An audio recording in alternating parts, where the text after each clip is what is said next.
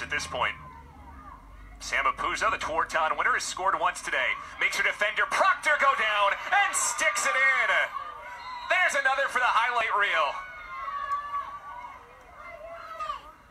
Know, um, about a mean crossover, just slips, and Proctor trying to make up ground ends up tripping on the back of the net. And Apuzzo, this is not an easy angle for the shot either, by the way.